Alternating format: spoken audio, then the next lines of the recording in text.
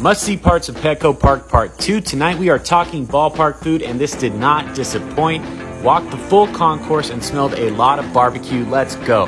I'll get you my top two choices at the end, but the options were endless. Hodad's is a classic San Diego burger. They have healthy options as well.